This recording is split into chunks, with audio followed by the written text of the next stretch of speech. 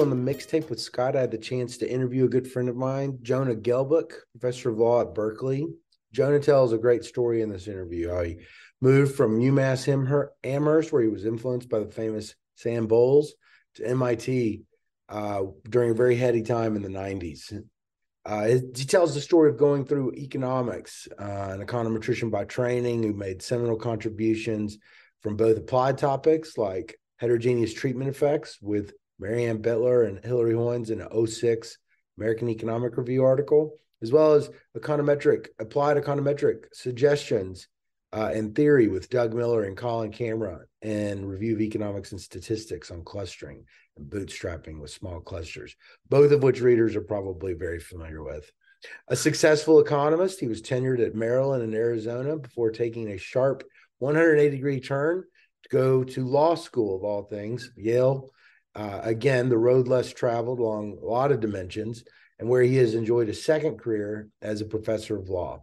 The JD PhD path, it's not an uncommon uh, path for economists, but it's not a uh, it's not common either. There's a few of them out there. In addition to wanting to talk to these interesting economists, I also wanted to talk to a few of them and just sort of learn more about this part of the profession where economists sometimes end up going. Again, the purpose of the podcast is twofold an oral history of the profession from the last 50 years, told through the personal stories of living economists. And it was my pleasure to talk to Jonah, one of my favorite economists out there. Uh, so thank you for supporting the podcast. If you like it, share the interview. I hope you enjoyed it. Okay. Well, this is a, a real pleasure um, to have on the, the mixtape uh, podcast uh, a guy that I've kind of known casually for a long time, but we've only this is probably the only time we've talked where I can see Jonah's face. So, uh, uh, Jonah, thank you so much for being on the on the podcast. Well, thanks for having me, Scott. Can you, for the sake of the listener, uh, tell us your name, your job title, and uh, where you work? Sure. Uh, so my name is Jonah Gelbach, and I am the Herman F. Selvin professor of law at the University of California, Berkeley. Oh, okay, cool. All right.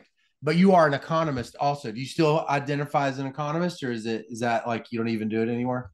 No, no, I, I identify as an economist and a law professor. I guess I guess I'm supposed to say lawyer as well. So uh, so I identify as both those things. I still, you know, think a lot about economics when I'm thinking about law. I think about economics a lot. I, I have some economics at least one project going um, that it's you know straight econometrics actually. So uh, so I'm doing both.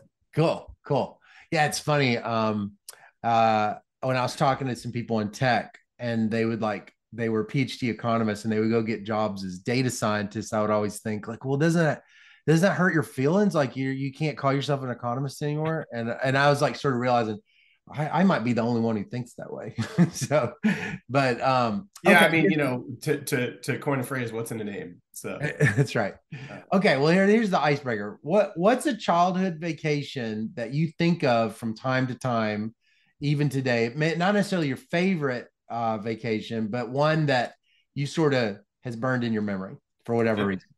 I'll give you two actually. So one is I was just actually my mom was just visiting uh, over the weekend and uh, we were just talking about uh, a trip w- we took when I was uh, 14, I think. Um, she took me to France. She did her dissertation research in France, um, and uh, and and is was and I think is still pretty close to being fluent in French. Um, I took French in high school uh, as a consequence, and she took me there for a couple weeks. So we were just talking about that.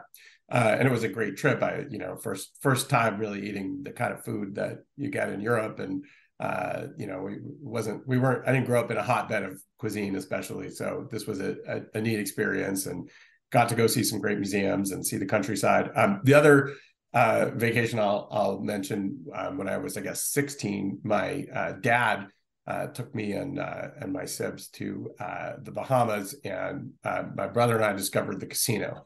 oh yeah, um, so that's why that one sticks out. But yeah. the, the casino and actually the lower drinking age. Um, what what games did you and your brother play uh, at the casino? Just a little too much blackjack. Blackjack, yeah, yeah. yeah.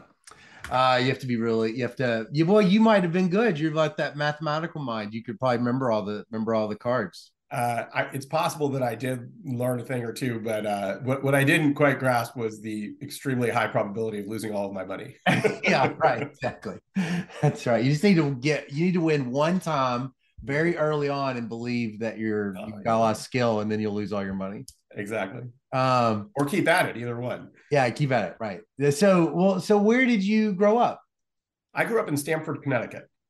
Oh, okay, okay. Yeah, so but your mom, but your mom was doing her doctoral work in France. Where was she doing it? years earlier yeah so um, she was i hmm, uh, and outside of bordeaux uh, like mm-hmm. the city like outside of the city of bordeaux in the bordeaux region um, she's a uh, her degree is in political science and um, she did a lot of uh, work on public administration um, particularly in the mental health system and oh. she was oh. studying the french mental health system at the time i believe oh wow yeah it's kind of similar to you you've also been very interested in in public public programs did you get that you think is that stuff that you and her sort of have talked about?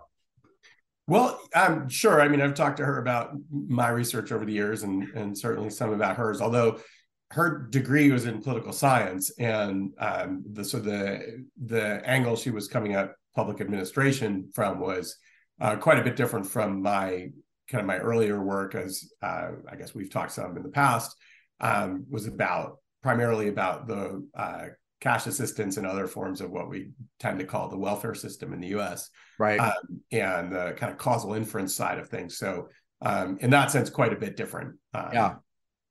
Did, did she end up becoming a professor? Um, she has taught as an adjunct um, at various times uh, at various places, but uh, she actually went into uh, into uh, like actual administration, like system. Oh, oh okay, okay. And so then, so then you also uh, your your dad, what did he do for a living? so my parents actually met in graduate school um, huh. in, in, political science, and so uh, he also has a political science PhD, um, and he was a professor for uh, quite a number of years at Southern Connecticut State uh, mm. University in New Haven, and um, then uh, sort of when he retired from that, did some nonprofit sector administration stuff, um, which kind of he just got interested in for reasons that were not especially connected to his uh, work background. Um, okay. Yeah, and he's they're, they're both basically retired now. But what's Stamford, Connecticut like when you're a kid? You know, I, I always think back and think it was a pretty boring place to grow up. Um, and I guess, you know, as a parent now, maybe I think that's not so bad. yeah. Um, you know, uh, but it was a, you know, suburb of New York City, a uh, little over 100,000 people.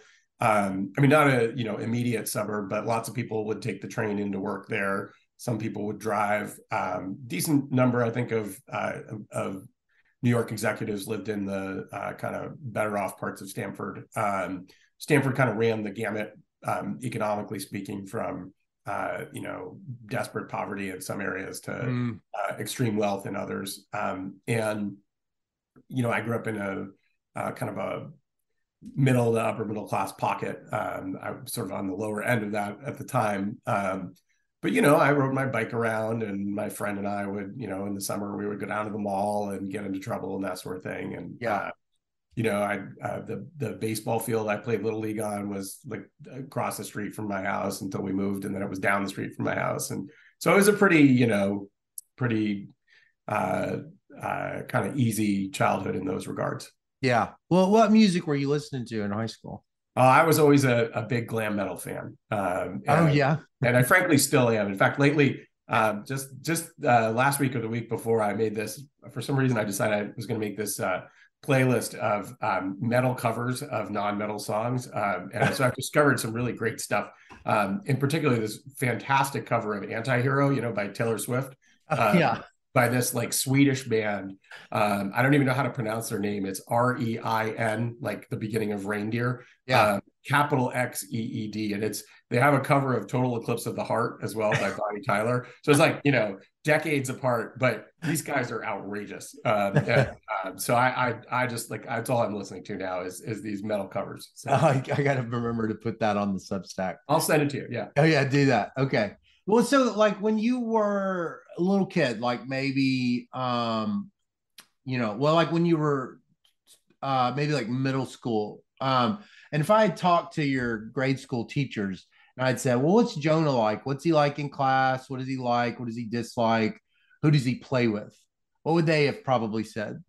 Yeah, that's an interesting question. I mean, I, I think like many uh, like many kids, I didn't have the greatest middle school experience. You know, there were kids who picked on me, and I didn't get along with uh, the cool kids so much. Uh, but you know, sort of towards the end, I I, I had good friends, and uh, that's kind of when I really started getting into music. I started playing mm. guitar when I was uh, 13, I think. Um, and um, so I was into baseball. I was into guitar uh, I was kind of into politics because my my parents would always talk to me about public policy issues and stuff like that. Mm. And uh, so I had a kind of a you know the gambit of interests in in grade school. I actually don't you know I was a good student, um, but I you know I don't have like deep memories of the the grade school years so much. Uh, right, right. But I would say I was your basic awkward kid in middle school. What about high school? Had did the teachers start to see a different kid in high school? you know, I, I was uh, I, I was a real good student in high school. Um, you know, I there were other other kids in the you know I took all the AP classes and stuff, and there were other kids, and we tended to be the same kids in um, in those classes. Um, I also got through sort of various other reasons because I um, took like I took uh, I hated biology, and so I tested out of ninth grade biology somehow, even though I actually in retrospect realized I didn't actually hadn't learned any of the things that were on the test but i think they just decided like this kid's going to be a pain in the ass let's just let him out of it um, and uh, so i ended up in chemistry and the time schedule was such that i was in the like regular college prep chemistry not the like honors one or whatever um, and so the uh, I had the full span of kids in that class. I was a freshman, and they were, you know, everything from sophomores to seniors or whatever. And like, there was a kid from the football team who uh, I was like super intimidated by him, but he was kind of funny too. And um, so, you know, I had the kind of range of kids I knew in in high school. Like I said, Stamford run ran the gamut in terms of like economic class and right. race and social class, and so I knew you know kids um, all up and down that in part because I took some stuff out of order. Right. Uh, and uh, you know, but I think my teachers would have said I was, you know, I was kind of a nerdy, you know, uh, high grade getter, but I also was very into this like oppositional, like I'm a metalhead thing. And so, um, you know, occasionally I would kind of get off the rails. Um, like one time um, we had this uh, assignment and I think it was sophomore year in English, um, that we were supposed to make a collage about, we were doing, I think it was archetypes, like hero archetypes and that sort of thing. And I mean, I knew better than this. I, this was purely to get in trouble, I think. Um, I made the collage by cutting up the pictures in the textbook. oh. the teacher loved the collage. You know, he presented in front of the class, and she's like, "Oh, these are great pictures. These look so, you know, they really." but then there's this pause, and she's, "Wait a minute, I think I've seen these pictures. Did you cut up the textbook?" And I was like, uh, um, I had to buy a new textbook uh, by the end of the year. Um, so I like I would do dumb stuff like that once in a while, but yeah. Um, you know, other than that, I think I wasn't that that unusual in high school.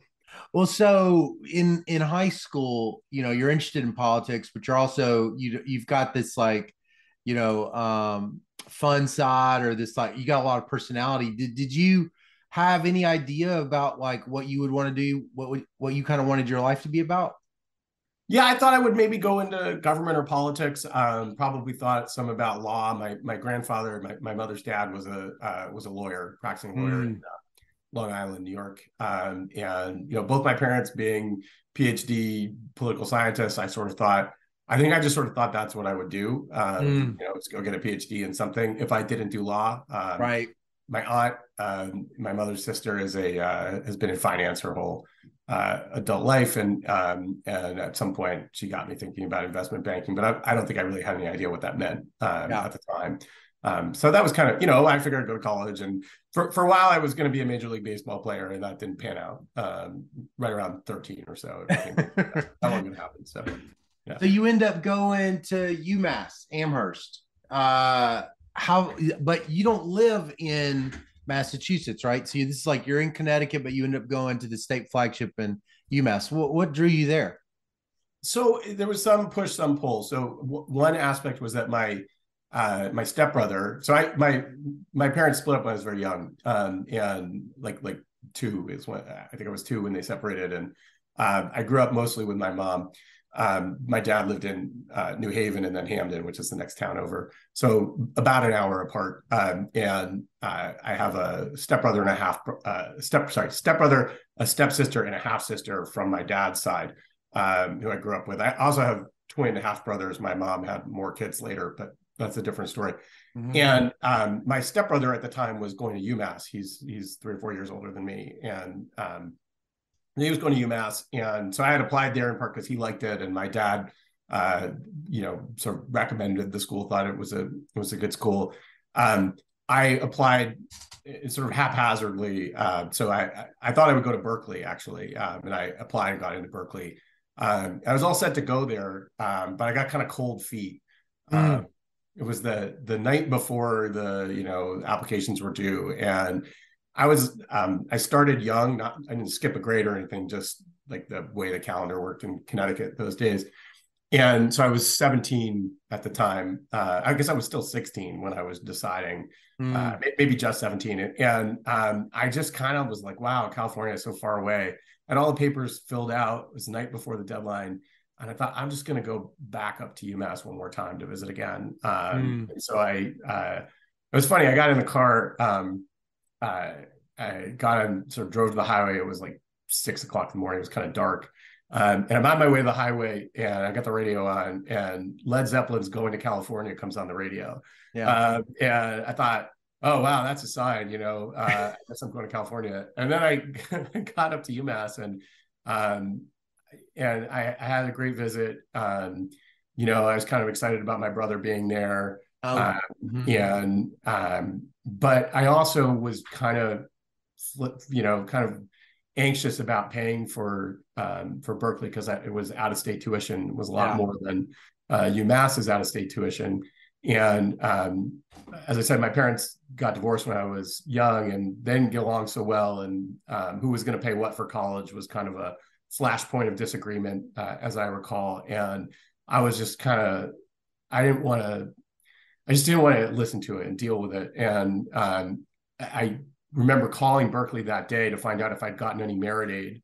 Um, and uh, and the answer was either no or you know we're going to tell you next week or something. And yeah. um, but then I found out what the amounts were, and it was small enough that I just thought you know I, I just got cold feet about the whole thing. It was like lots of little things. Right. And here I was where my brother was, and there was this kind of like built-in connection, and um, and I really liked it. I, I was in New England pretty much my whole life, and yeah, uh, it just seemed like the easy route. And I think about that a lot. Like, was that the right decision or not? I got a really good education at UMass, um, yeah. but you know, Berkeley's a pretty great place too. So um, yeah, yeah.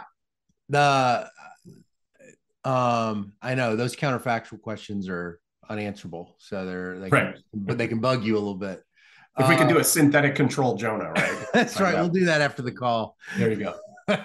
uh, well, um, uh, so do you end up majoring in economics when you're at Amherst? You, you, I did. Yeah, I majored in econ. so what was minor. your is a math minor? So what was your first encounter with it? Was it in UMass or was it in high school?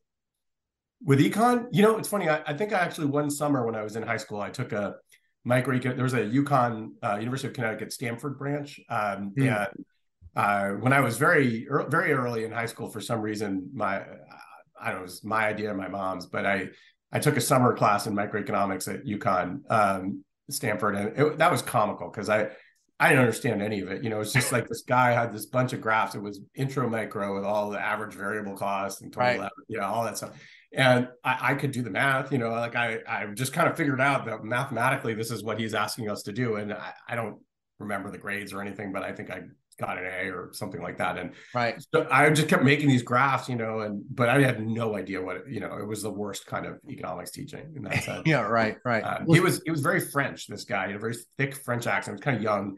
Uh-huh. um, and to the point where he would talk about a table um, and he would call it a tableau look at Tableau one, and I was like, "What is this guy doing?" So um, that was probably my first experience with economics. Um, and then my first class in econ at UMass was I took a class called um, uh, was like capitalism and democracy or something like that, and was yeah. taught by Sam Bowles. Uh, ah, that's in my questions. Okay, great. Sam kind of became my mentor in a bunch of ways, but um, but that, I'm pretty sure that was the first class I took. I was at the, I think I was a poli sci major at the time, and then I switched. Ah, huh. Yeah. So you, a lot of people don't know this. UMass is got is just like a famous program in the history of economics for being just this long, illustrious in the, for lack of a better word, that the heterodox tradition. And you don't hear about it very much, but um, did you notice when you were there there was something distinctive i mean you couldn't compare it to anything but it must have been you know with your political background I, mean, I can imagine it was kind of interesting in a way that you know that that original class wasn't that original high school class was less exciting yeah so i was well aware of it i mean my you know when i was thinking about where to go to college my dad was a big booster he, he was sort of into um, radical political economy from as a he wasn't an economist, but he was a reader. You know, he he reads very widely in that kind of area. Um, and so I kind of was aware of the the bent of the department, and um, I definitely was in that kind of radical lefty um, political economy uh, tradition at the time, and so I, I loved it. I mean, I, it was you know it was totally my thing. I, have it's not at all the kind of economics I wound up doing. Yeah, um, but I learned a lot of uh, I, you know I, I knew it was different. Um, I don't know if I could have articulated the ways and uh, the extent to which it was different until I got to grad school when I had all these, you know, classmates and friends who were economics majors at other places who, you know, hadn't taken, you know, lots of stuff I had taken, but also had taken stuff, lots of lots of stuff that I hadn't taken. So like, you know, the the kind of math angle. I took some graduate classes that um, at, at, UMass that were kind of heavy game theory using classes and that sort of thing, but mm. not with the like degree of formality that I think like a you know a kid who went to Berkeley or Harvard or MIT undergrad um, and majored in econ at the time probably was getting, you know, at least in the upper level classes, something that wasn't too different from what they would see in, you know, first year micro. And, and right. most of that stuff was pretty new to me. So yeah. I, that was a big a big difference. Well, did you take any econ econometrics classes while you were there? Did they did you did they have that? I took some uh, because I was a math uh, minor. I took a bunch of stats. Um, I didn't really. I don't think I really like. I had had you know regression, not not multivariate regression, um, and then I took like a grad class or two in stats and like survey sampling. Mm-hmm. I really think I was clueless. Like I, I, I don't think I knew. I was just like, oh, I better take this, you know. But I I don't think I realized that it was not going to be particularly helpful in economics. Yeah, stuff. Um, at least you know, unless you became a heavily sampling oriented person. Right. Um, I didn't take econometrics. I, I don't think you were required to. Uh, mm. I, I, guess you must not have been because I did get my degree. Um, um, but I do remember reading like Johnston before it was Johnston and DiNardo, you mm. know, like over mm. the summer or something, and just kind of realizing I was going to need to know this stuff. And so I and I had taken matrix algebra, so that mm. that part wasn't you know wasn't a shock to me when I got to right. Right. Well, you said Sam Bowles was your was had was sort of a mentor to you. Can you tell me a little bit about that?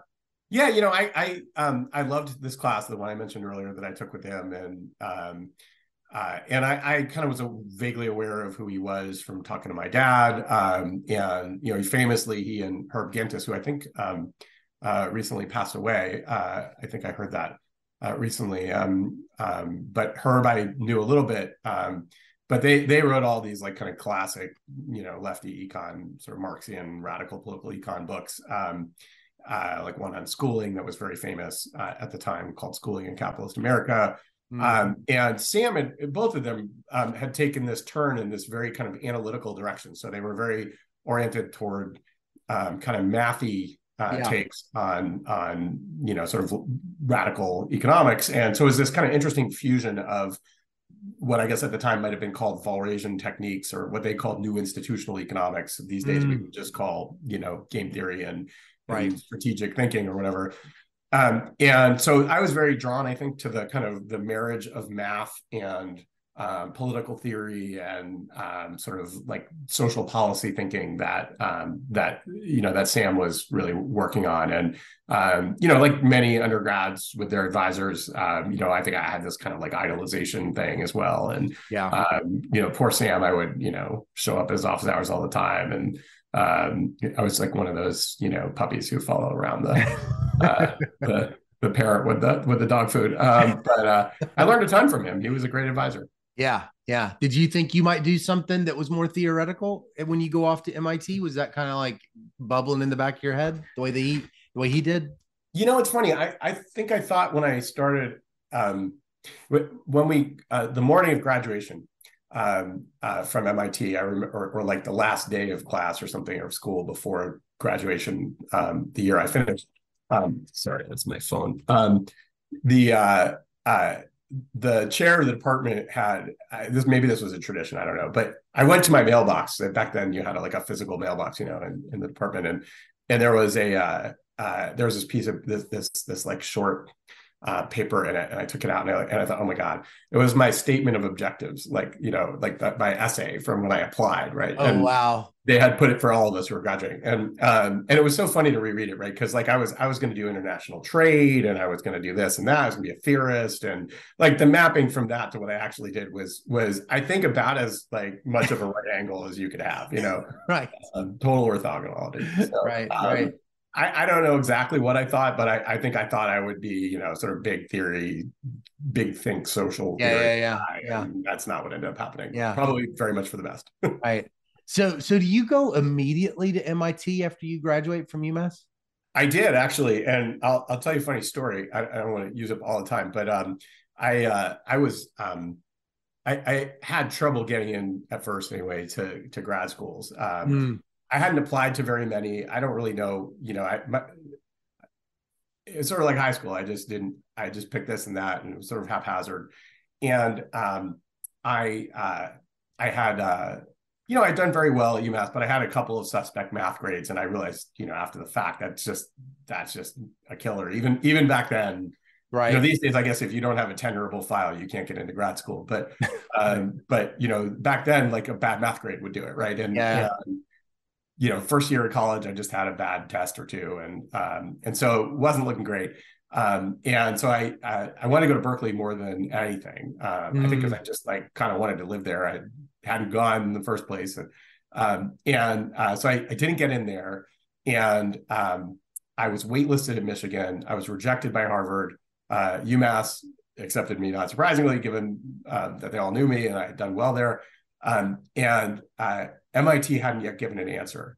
Um, and uh, but I knew because Sam, I guess, had called the director of admissions to, mm. uh, to find out what was going on. I knew what date they were going to make the decisions, and he basically had been told they're waiting on the NSF um, uh, uh, grad fellowship. Decision. Oh, you had applied for the NSF grad fellowship? Yeah, me and everybody else, right? Like you, you right. just were sort of told you should do that uh, if you're applying at Econ grad school. And so um, I uh, the, the appointed day came, you know, and um, it was I think it was April fifteenth. Uh, but um, it, whatever day it was, it was the day after the one uh, party that UMass funded for uh, students where there was alcohol served. So for the graduating seniors, they would have this.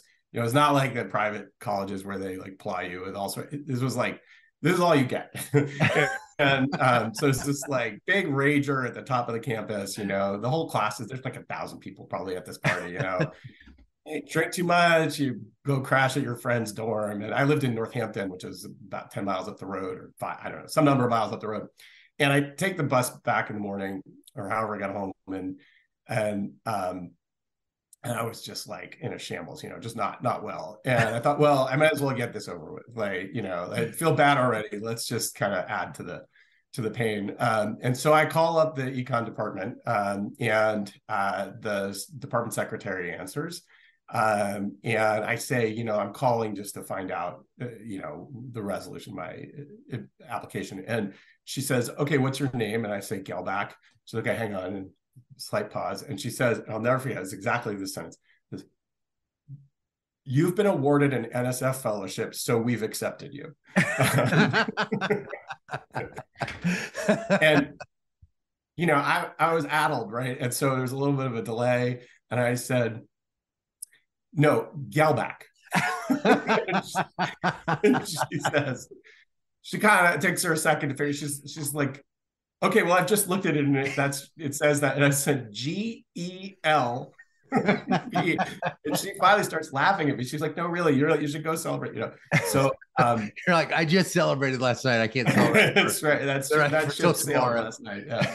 Uh, so that was that was how I found out. Oh, that's um, great! What a great story! Wow, what did Sam say when you got in? So I got it. Uh, he was happy. Uh, yeah, yeah. He, I don't remember exactly what he said, but uh, um, I don't. I think he was surprised as I was. Um, yeah. To be honest with you.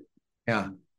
Well, so uh, so you graduate that spring. Do you have to do anything to kind of get ready? You have to do one of these boot camp things or something?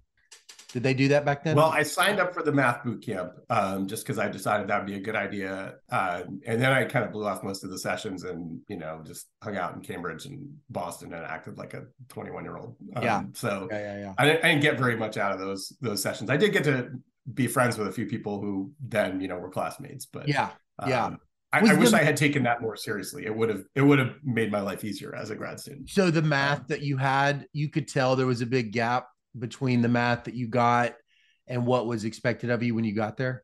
I mean, that's definitely the case now, yeah. but, but I was just wondering, has that gap gotten bigger or was it always, always there?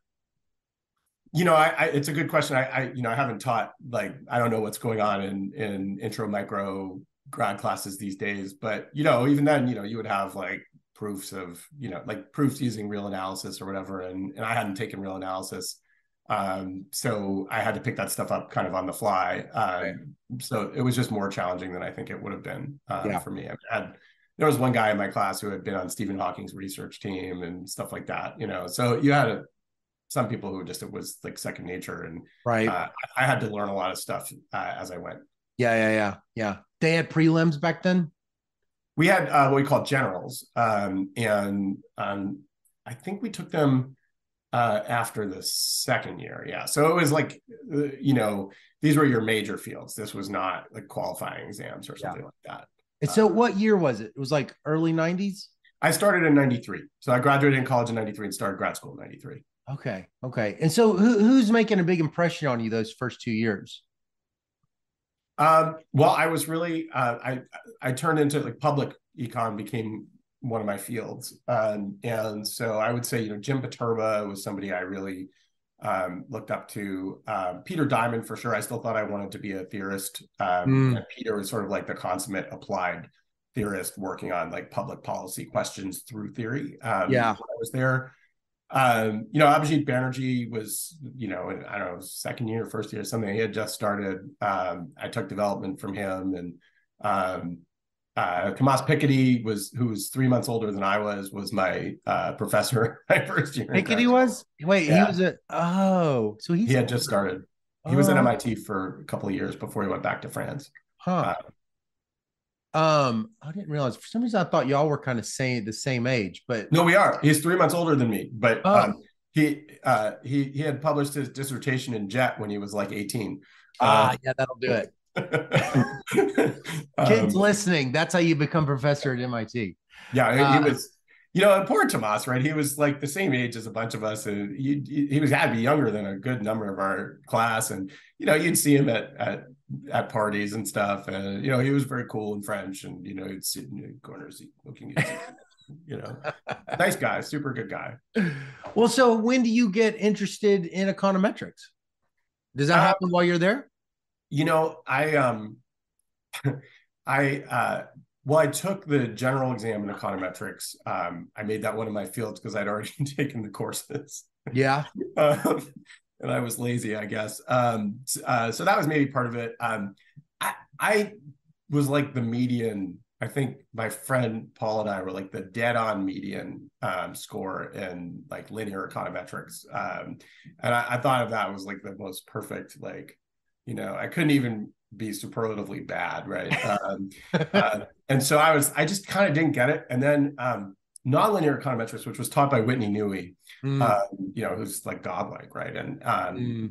I, I I had trouble. I was very immature. I mean, I was 21 when I started, and um, and um, I just had trouble focusing. And so I, I at some point I stopped going to Newey's class, um, and I thought, you know, I kept thinking I'm gonna I'm gonna pick up all this material. I'm going to study really hard. I just won't go to class, but I'll get the notes. And of course, I didn't go see do that. And oh, I'll cram the night before. And then my friend and I went to see Clerks the night before instead because it had just been released and everybody was going to see it. And then that morning I was like, shit, I'm in trouble now. And um, and um, the one thing that was the saving grace was it was open book. Um, and um, I took I had taken like 12 different books on nonlinear econometrics out of the like Dewey Library, which is like the, in the building next to the econ department. And, um, and so I showed up for the exam, and I, would partly been hardened because the TA, who was um, Jack Porter, who's a really great econometrician, um, Jack had uh,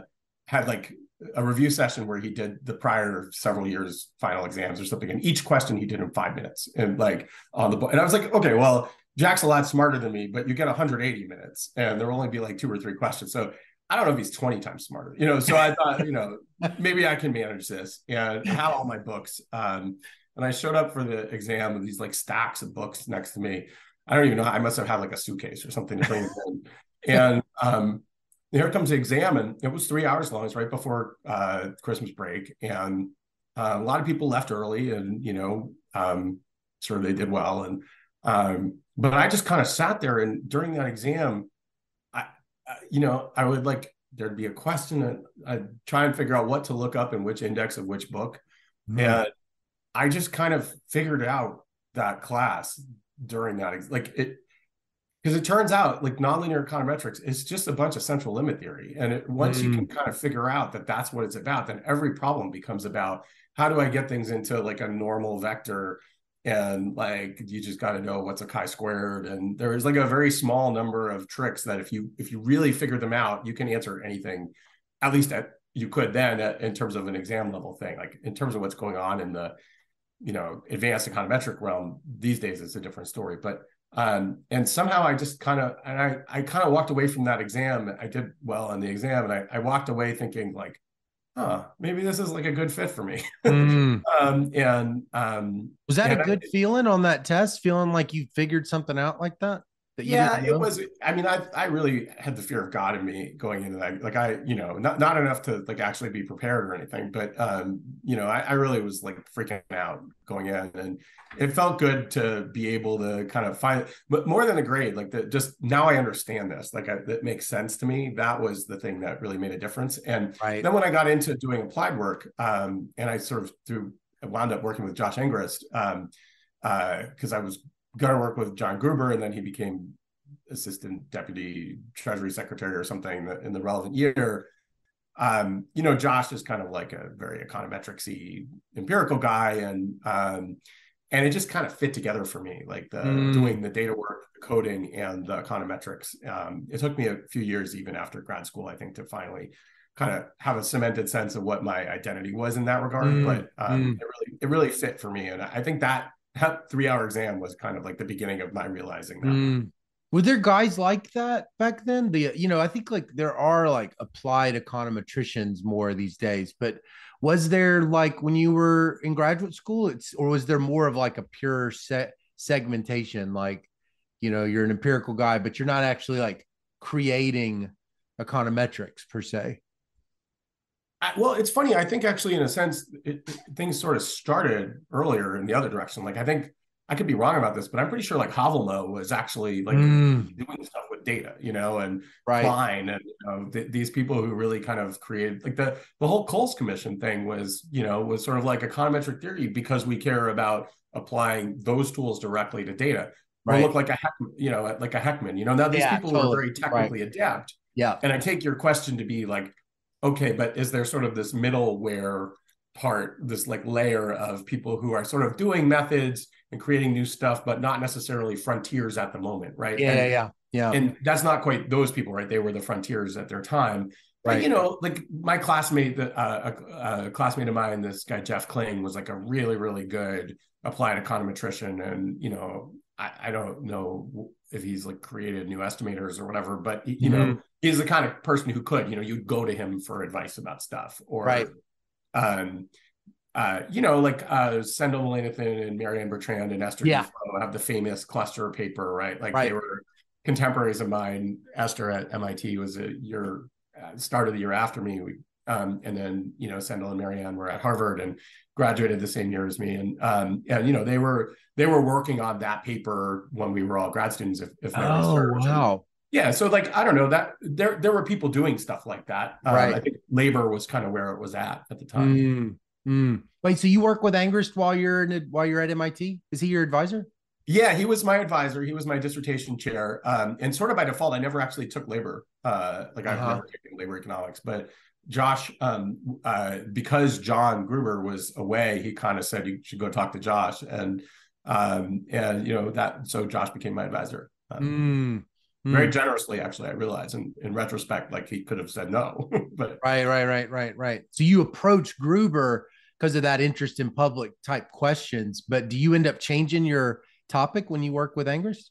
Yeah. So what really happened is I started. I wanted to work with Peter Diamond, um, and Peter, I think, mostly correctly thought I was a lousy theorist, um, and uh, and clearly, like he he would humor me, but I I don't think he enjoyed being my advisor. And after a while, I got the hint enough to to move on. Um, and this the the sort of embarrassing part is that uh, Jim Poterba had sort of signaled pretty strongly to me that you know he would be glad for me to be his student, and you know both because Jim is an amazing um, advisor and somebody you can learn an enormous amount from.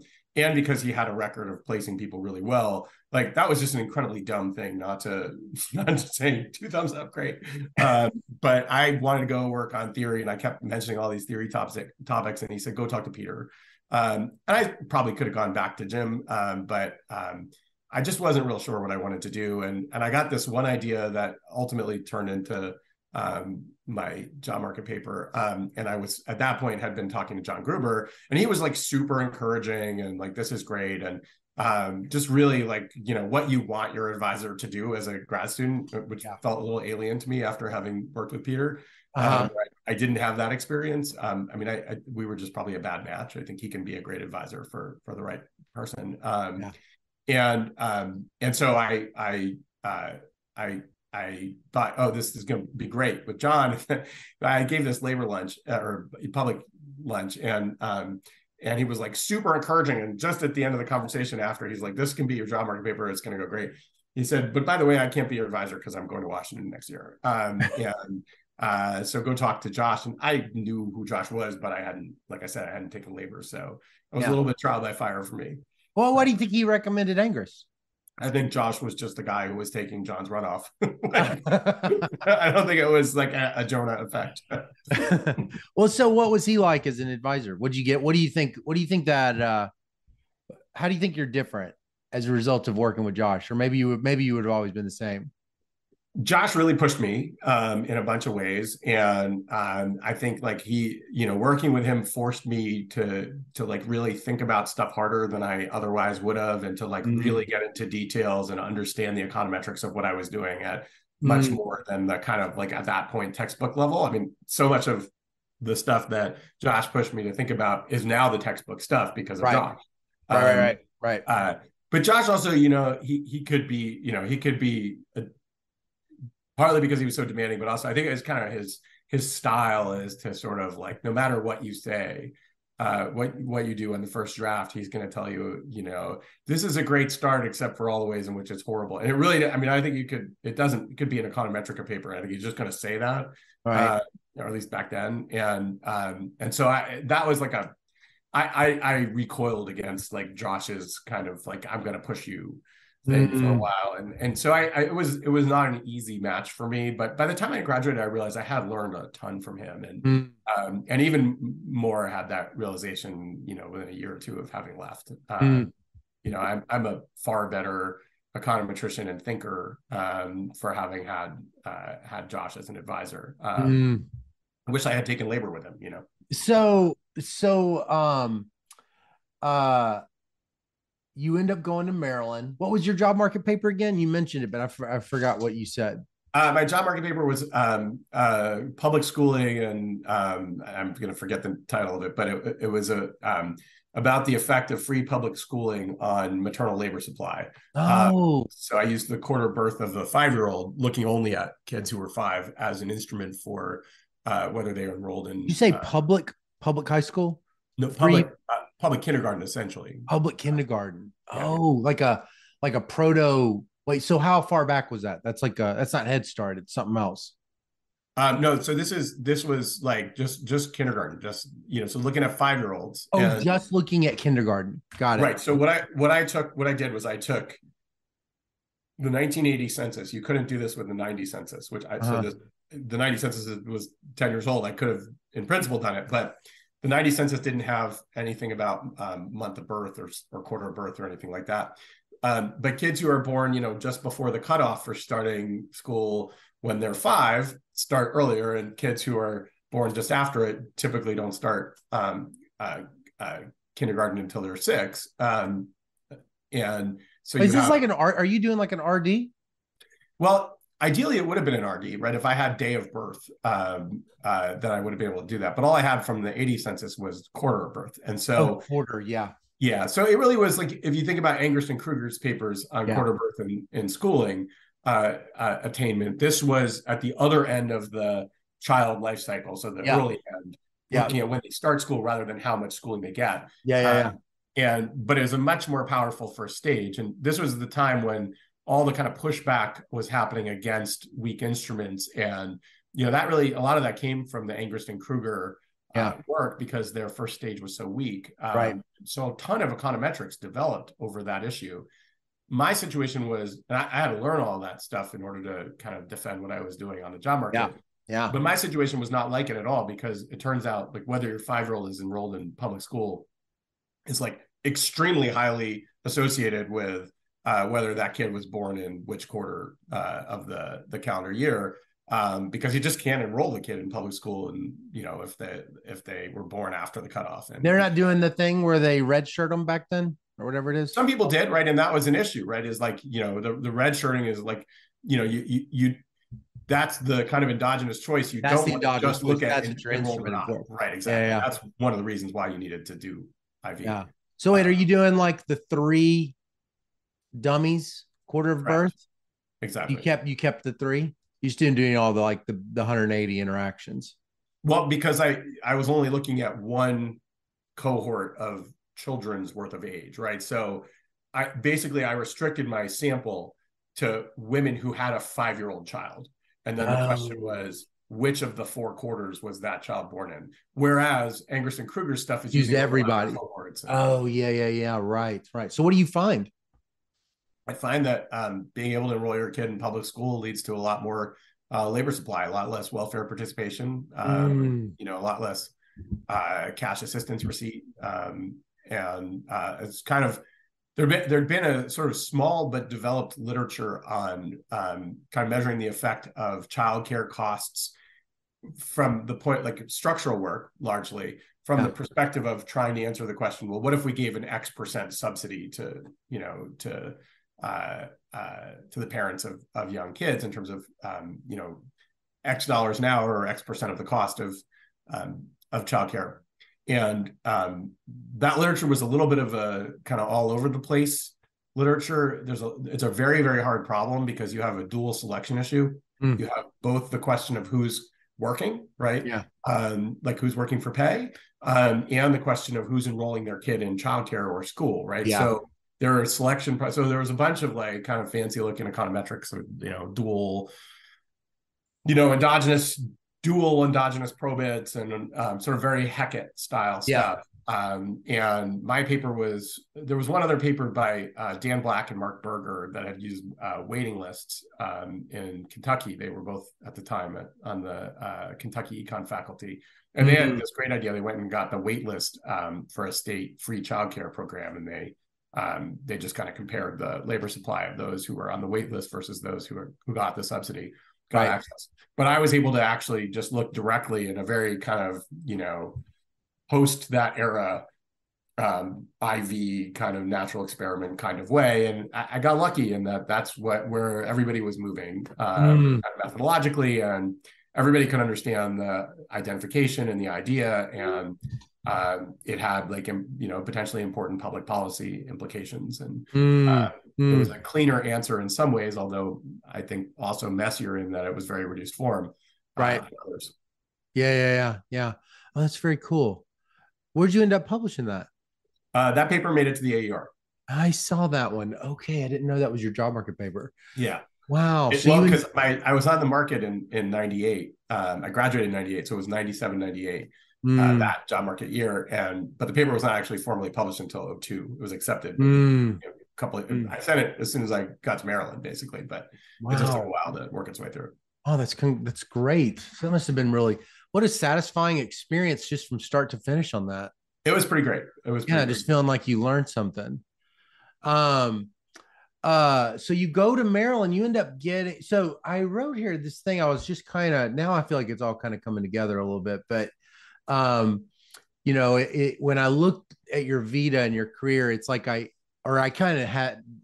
I, I know I know you I know you a little bit more than just the average person. Um, you know, there's like this distinctive, you know, you're an econometrician and you're like writing, you know, your two most cited papers are on clustering with Cameron and Miller. It's like 8,000 cites, you know, total. And then you've also got this like other work on public finance style questions on poverty and large government programs with with uh, Hilary Hoynes and Marianne Bitler. And so, you know, it goes back to this conversation we were having, which was you've you've been these two people, right? And in time you become like a third person when you become a lawyer. And so I was just kind of curious, you know, what does it feel like you're two people? Or does that is that actually, you know, in your world just super seamless? Um I think that's a good question. I mean, I you know, it's it was organic in the sense that you know I, I got interested in the. I was always interested in uh, poverty assistance and public programs, just because I was interested in like you know social policy and making the world better and reducing poverty and um you know those are things I've always cared a lot about. Um, but the econometrics stuff really kind of developed for me in the process of thinking about the questions I was working on. Um, And, um, you know, then I, I, at some point, I just kind of became more econometrics oriented. Like I just got interested in econometrics questions and I would just read a lot of econometrics for its own sake. And then, you know, that sort of took on its own uh its own life. But like thinking about clustering for example you know that was like stuff i cared about in the context of papers i was working on that mm, were that were definitely empirical papers. Um and actually it's a funny story the the way i um got hooked up with uh with colin and uh and doug i knew doug um from uh from around basically. We'd overlapped some in a in the uh robert wood johnson uh scholars in health policy program at berkeley and um so that was part of it. Um, but uh, what happened was um, Colin and Doug, unbeknownst to me, were working on this issue that became our um, uh, multi uh, multiple clusters paper, not the bootstrap one, but the oh uh, multiple overlapping uh, clustering um, paper, um, and uh, which is the uh, JBES one, I think. Mhm. Uh, and um, I got to think about that question because one day, um, this is when I was still at Maryland. Um, so for people who don't know, Maryland is inside the Beltway, so you basically like it's DC for all practical purposes. mm, But I lived in DC, um, and I'd gotten called for jury duty, um, and uh, you know, jury duty at least back then, and it's still that way in lots of big cities. I think you know, you you would go in. There's a big room. You have to sit there all day. Um, you might or might not get called on a panel. Um, even if you do, you're probably not going to end up on a jury for a variety of reasons. So you just kind of, and there was no Wi-Fi or anything like that uh, in the building back then. So you had to have reading material and work to Right. do. And I had this book that I had bought, like one of those Dover math collection books, you know, the like the little Yeah. ones that are they're like out of copyright, and so yeah, yeah, yeah. you can get them for like six bucks or whatever because they've just copied whatever some famous person wrote 70 years ago or whatever Right. um, and then republished it and uh, i just like in a hurry grabbed this book. It was called like uh, um, discrete it was like on discrete math and um, but it's a short short book. And i'm sitting there and i'm reading the section. I'm like waiting to be called or let go. Um, and i'm reading the section on um, counting rules the inc- and there's this inclusion exclusion rule. Um, and it's like how do you count the number of elements uh, uh, in a set that are in multiple categories. And like it, it basically is the exact math of one of the approaches in our uh, multiple clusters paper, the, the approach that says cluster on one variable, cluster on the other, add the matrices together, and then subtract the result of clustering on both of them, like the cluster one and two uh, not one one comma two. And it's just a counting rule, um, like set from set theoretic discrete math. And I never took a class in any of that stuff, but I was like, oh, that's kind of interesting. And I sort of saw somehow I just had this like moment of inspiration of the connection between the two. And so I thought, well, geez, I'm going to start working on this. And I wrote something up and I mentioned it to Hilary Hoynes, um, who at the time was at UC Davis. Mm-hmm. was so was a colleague of uh, of Colin's, and Doug had just started there. Right. Uh, and um, and so Hilary mentions to Colin and Doug uh, that I had told her something about this crazy thought I had, and um, this was exactly what they were working on. So Doug got in touch with me, and we ended up joining forces. Um, they, they had a different angle on the same problem, so the paper ends up talking about both those angles and how they lead you to the same result. Oh, uh, interesting. So that's how I got interested in that and, and, and got involved in that. And then while we were working on that, uh, I was interested in bootstrap stuff because of some other paper I was working on, um, and uh, got this idea about do, dealing with the what happens when you have a small number of clusters. That, I think the Colin was the one who saw the um, refinement point there, um, uh, uh or maybe I saw the refinement and Colin had the idea about the using the wild bootstrap. I forget which, but yeah, uh, it was just a very fruitful collaboration. Um, yeah, yeah. You and know, Doug was coming up for tenure fairly soon, and so he, he worked his ass off doing the, um, like coding up the. I mean, it was a, we are all full partners in the project, but Doug did this just insane amount of coding to like make all the Monte Carlos go. So that project went quickly. Oh, that's that's cool. You know, it's like, um, I feel like I'm much more typical of an applied person than when I listen to you because I I really love econometrics. I love learn. I love reading your work or reading Doug's work, for instance, or something like that. But it's like uh, my creativity really does not come in spotting those kinds of opportunities, you know. And I just was wondering, you know, if you had to compare yourself with like maybe other applied people that you can just like whoever that would be, what is the different creative, you know, X factor that like an, an econometrician has from someone that just uses econometrics, like a consumer versus a producer? What what exactly? Because they could both be very creative people, but like, what's the what's your thing?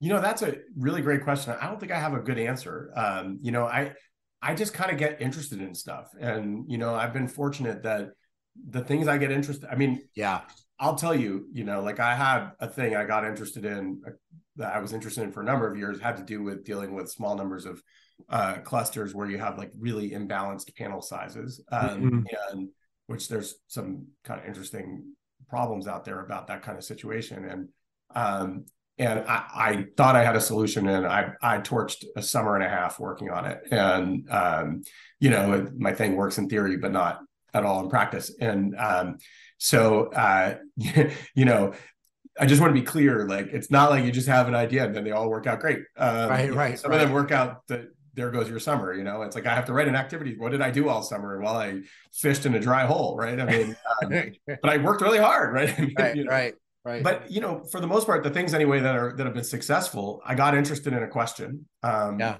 and um, you know, through happenstance I either figured out a solution or I got to talking to somebody else who, you know, pushed me in the direction of thinking about something that turned out to be a solution. So in the latter example, I have this paper, When Do Covariates Matter? Uh, and which ones and how much, um, which is mm. like a mm. TCOMP style paper that just leverages the omitted variables bias formula. How that paper mm. actually happened is that paper was published in 2016. I started working on the issues, not not realizing it. Um, I started working on the issues that became that paper in the summer of 1998. Um, mm. So I was working on getting my job talk paper, the one we talked about earlier, ready to publish in the AER. Um, yeah. Well, first to submit, and then after I had gotten um, reports and stuff, and you know, kind of addressing some of the uh, concerns. And Josh had always pushed me to think about like, you know, well, what happens to your key results when you add X's, right? So right.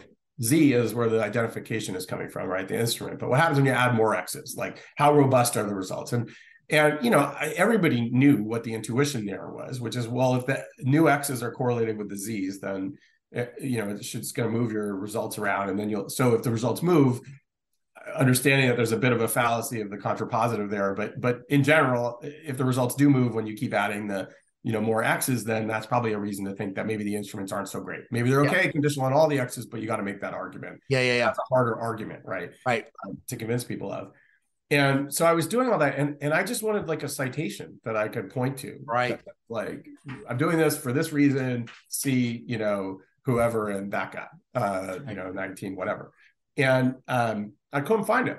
Um, and the stuff that I could find that was close to it was like really older stuff. And so I, I would like write to these old stats guys. And, you know, these were, you know, one guy in particular, I think was about to retire. And like he wrote back and it's like, oh, you know, see my paper. But that was the paper that made me think to write that guy and it didn't address yeah. the Right. right so right. I got to, sorry, say again?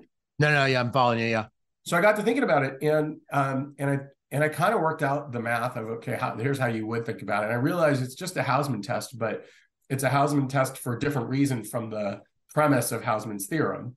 Uh, and that struck me as kind of interesting, and so I bookmarked it. Um, and uh, you know, for like the next time I have the next thing I want to work on, and um, actually a few years later, when I was out in Berkeley doing this Scholars in Health Policy program, I was going back to Maryland for like a week um, and I wanted to be able to tell my, I was untenured, you know, and I wanted to be able to tell my department chair what I had achieved. Um, and so uh, I uh, pulled an all nighter and wrote the, because the, the, answer was not much um, at, at, on that particular day. Um, and so I wrote the like skeleton of what was going to be this paper. Um, so I could then show up and wave this in front of him. And um, that version of it didn't really go very far. And I kind of put it aside. I kept putting it aside. And one day, um, a couple years later, I was giving a talk. Maybe the next year, I was giving a talk um, at Berkeley, and David Card was, um, who's just been tremendously wonderful to me throughout my career, as long as I've known him, for mm. no reason other than he's like the best person in the universe. Mm. Like I wasn't his student, you know, wasn't his colleague. Um, he was my formal mentor in this Robert Wood Johnson program at Berkeley, and he was in uh, we got to talking about this issue and this Hausman test thing. And the first thing was he he was like, "That's not a Hausman test because the premise is wrong." And I said, "Well, the premise is wrong, but it's the same math, and here's why." And I, I have so much respect for David. He wrote back and he was like, "Yeah, you're right." But I don't know. Somehow my sense of like people like David is that they they wouldn't just say, "Yeah, you're right," but he did. And he kept kind of pushing me um, and said, "Well, have you thought about doing like some kind of forensic decomposition of like what is going on in all this?" Mm-hmm. Um, and I hadn't thought about that too much. And he had this idea that was like 98% of the way there. And I thought about it and I figured out the last 2%. And that became the omitted variables bias decomp, which is, I think that paper is now like my third or fourth most cited paper. Mm-hmm. Um, and it gets cited a lot. So it will be, you know, third after the two you mentioned earlier pretty soon. Right. And, um, and like I just got you know, it took me six, 18 years to publish that paper mm. uh, because I always had something else to work on, but I was always thinking about it a little bit. Um, yeah. Um, and I, so like, that's kind of to answer your question, very long winded way of doing it. I just get interested in things. You just get interested and, in it. So maybe it's not as different. I mean, maybe it's I, yeah, right. I mean, I think when you get interested in your things and I get interested in yeah, mine, they're just yeah. things. Right, um, right, right.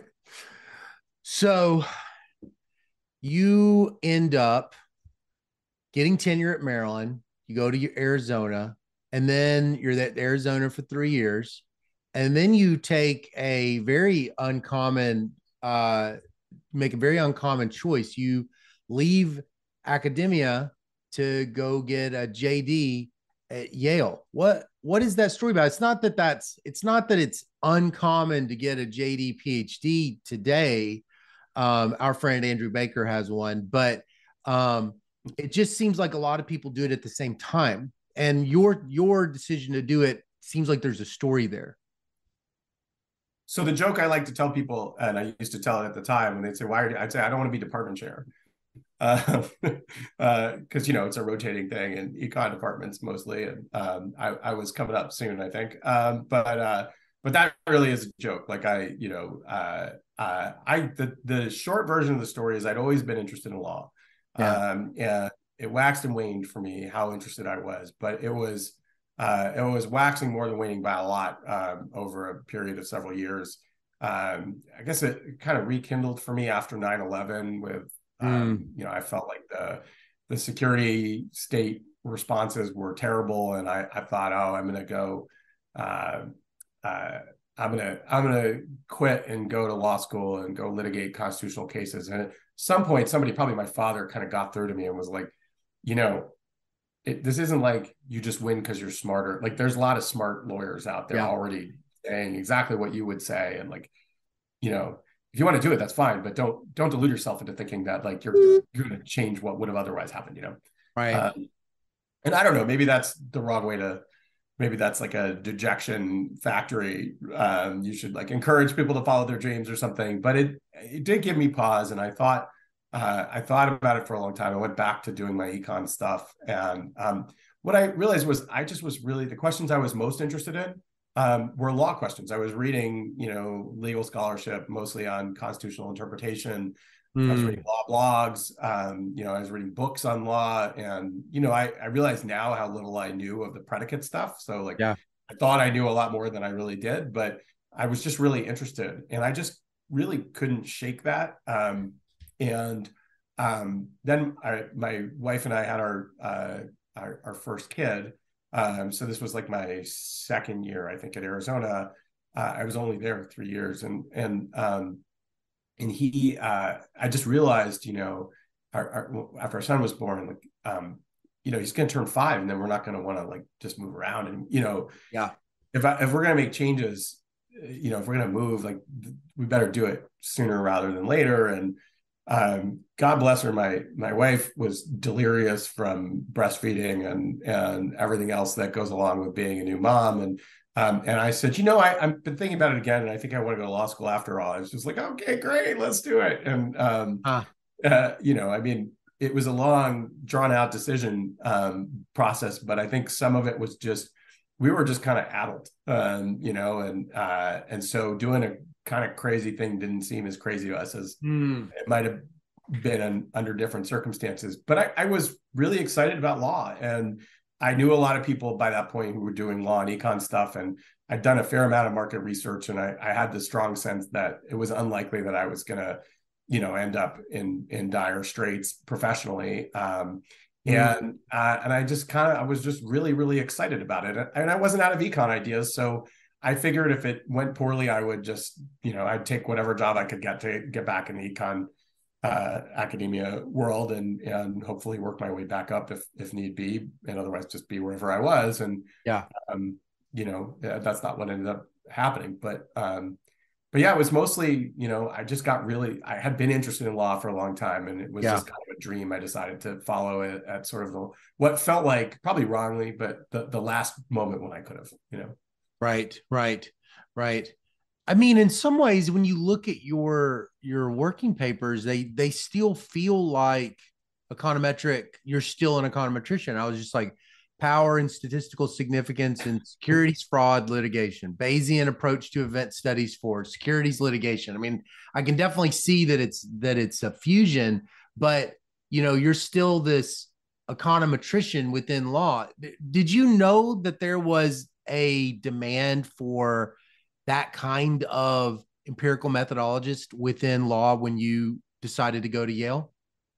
Well, I think there were, you know, I knew a lot of people who were empirical econ types and and some who were empirical types who weren't econ, like maybe they were trained in poli sci or what have you, um, you know, in law schools. And so I knew that this, I had visited for a year at Florida State's law school. And so I gotten to know some people there. Um, guy who became a good friend and colleague for a while, Jon Klick, uh, who who then left Florida State later uh, for Penn and uh, the law school. Um, and uh, we we were co-authors on one of some of the work you're talking about. So I kind of knew that there was this world. You know, the the law and finance world um, has a ton of empirical stuff, and some of these papers, you know, they could be published in uh, in the journal of you know one of the like finance journals or yeah. corporate finance related stuff. So I knew that there was a you know that there was a market for that sort of thing. I um I I wasn't sure how much I was going to do like that stuff versus just law stuff.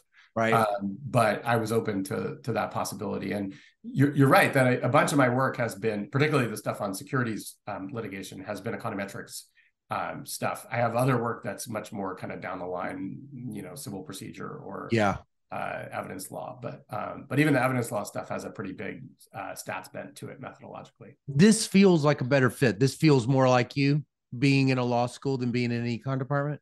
Yeah, I really like it. I mean, I think I, I, think at an earlier moment in my career, it might have not been the right thing. Um, yeah. I, one one thing I'll say is having been in an econ department and you know at, at good econ departments and having gotten tenure, um, you know, I, I I don't I think some people when they're in a field like law and they're a law and person, so they have a degree from you know poli sci or econ or whatever other field. So um, philosophy sometimes, you know, um, there I think it's less about the people themselves, but there's this perception that people in law schools sometimes have about the JD PhD havers, which is like, oh, well, they're only doing this because they couldn't have succeeded in their home discipline.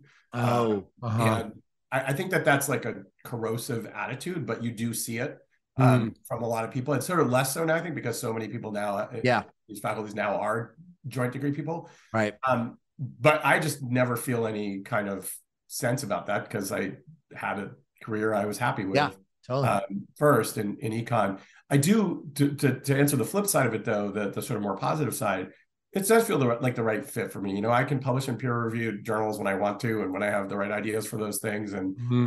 um, and I'm still, you know, at least back when I was active on Twitter, I was still lots in touch with econ people, and now I try to stay in touch in other ways. But um, so I still get to kind of satisfy that part of my like intellectual palate. Um, uh, but I also get to do all the stuff that I find really, really interesting about law and, and legal policy. And, um, and I really love teaching law uh, more mm. than I hmm. liked teaching economics. Um, What's different?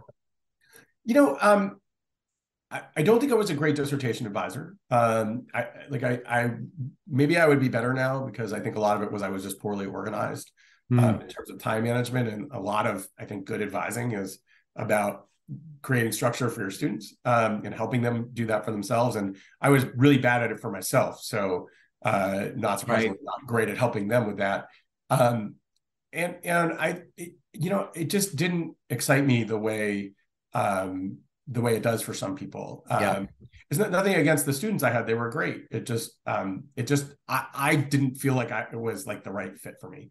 Right. Um, law teaching I really like because the style of it is um, it's sort of more, at least in my experience, it's more engaged. Um, yeah. And it's a broader template of uh, of of topics within the field that you're teaching. Mm-hmm. At least it feels that way to me. Um, you know, you meet a much broader array of uh, students. Uh, law is just so much more generalist in terms of whom it attracts. You get some, you know, techie mathed up people. You also get like folks who are totally from the humanities or philosophy, and so it's just a sort of more general kind of um, crowd. Uh, and and uh, again, maybe when I was, you know, in my 20s and and an econ professor, early 30s, I might not have liked that as much as I do now. But I, it yeah, feels like the right fit for me. Yeah, uh, that's awesome. Well, let me let me kind of just end with this this question here. Um, uh I asked Susan Athey a question. I was like, well, what's your favorite XYZ? And she said, Well, that's you that's an, you can't ask that question because it's too hard. So you have to say, you know, what's something you like. So I'm gonna change that. I said, what's a what's an article or a book in econ or law or econometrics? You get to just pick that you've noticed uh kind of lives in your head as they say on TikTok, lives in your head rent free. You just notice that it just kind of has hung around in your head. May not be your favorite, may not yeah, be yeah. the most important thing, but you just find yourself thinking about it. That's a great question. I mean, um, I think that it varies a lot with what I'm thinking about at any given day, um, topically. But I would say in the econ world, um, in part because of my work on um, on distributional like uh, treatment effects, um, uh-huh. papers with um, Bitler and Hoynes. Um, this paper by Heckman, Smith, and Clements mm. uh, uh, is just a um, fabulous paper. It's a ReStud paper, and it it just got me thinking about things in a way that I hadn't thought of before. so mm. that's a that's a great example. Uh, I feel like well, I mean, the late paper, right, by Angrist. Yeah uh, and Imbens. Like it was so generative of so much, and like you know, you can just always go back to it and get some new insight. Um, yeah, or see how it is, you know, uh, how it's affected um, things. I, I, could probably go on and on and on about econ papers, but th- those are a couple. Um, on the law side, um, uh, so econometrics, Wooldridge's textbook, like the mm. um, I think it's in a later edition now, but the last one I taught from was the first edition, the 2002 cross section. Um, the big book, the graduate yeah. book. Yeah. Yeah. Uh, just a, a tour de force, an amazing Yep. book. Like, Mhm. Go back to it all the time. Um, uh, on the law side, um, I think so. I uh, I teach um, civil procedure, um, and I also teach. Uh, I teach a few different fields, but one of them is um, legislation and statutory interpretation, um, and almost anything by uh, the guy who was sort of my mentor in um, in law school, a guy by the name of uh, Bill Eskridge. Uh, Hmm. Almost anything by Bill is a fabulous read, um, and so I, I don't even know if I could point to like one uh, one paper um, like that. Also, my uh, former colleague at uh, at Penn, who's now at Harvard, a guy named Ryan Doerfler, uh, who's Hmm. a, a spectacularly uh, great writer, really brilliant thinker. He's a JD, PhD in philosophy. Um, Mm. Ryan has written a bunch of just really fascinating papers that take um, uh, linguistics um, and like the philosophy of language, really, um, and marry them with the law of statutory interpretation. And there's always like a really interesting insight in each of those papers. Um, so just beautiful, beautiful writing. I would say uh, a bunch of his papers as well. I'm sorry, I can't give you a you know. No, that's great. That's great. That's great. Well, Jonah, it's been so nice to to talk. Um, that we we met.